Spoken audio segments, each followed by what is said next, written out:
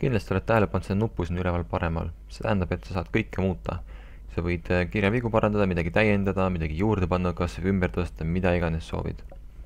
antud juhul ma tahaksin äh, peatükkidesse äh, linki juurde panna, nimelt et weekly'd oleksid siin olemas.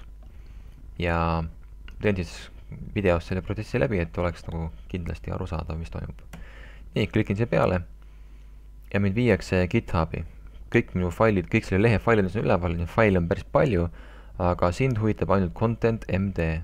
see on siis äh,, siin sees on kõik seesama tekst, mis on üleval ka, noh, mis ongi seal liiga ees olemas. nii, mis me teada tahame, on see väike pliiatsi nupp siin.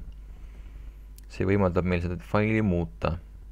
ja ma otsin üles, kus kohas on peatükid. no tuli või?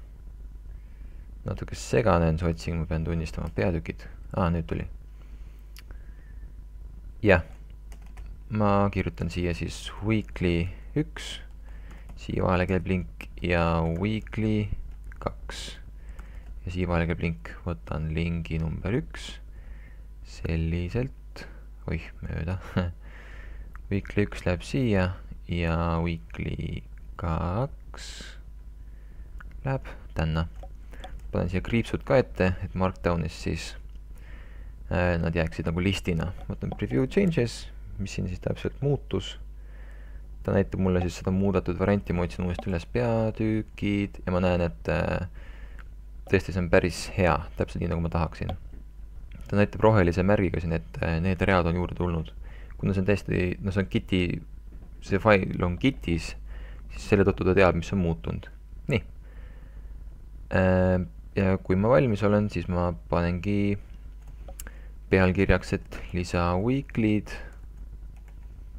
üks kuni kaks, propose file change.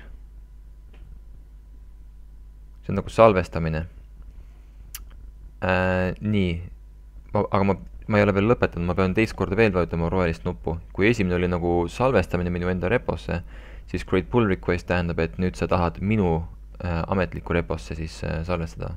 teade võib samaks jääda, võiks olla noh, siin saad seletada, eks ole, mis siis täpselt, miks sa muudad ja mida sa muudad ja ütlen create pull request. ja nüüd on valmis. nüüd saan äh, mina tulla hiljem üle vaadata, et mis, mis sa siin teinud oled, noh, klikkides näiteks siia ma näen rida rida haaval, et aa, panin need juurde, väga hea, sobib Anyway, kui tahad nüüd täiesti kindel olla, et sa tegid õigesti, siis sa võid uuesti avada selle õige lingi.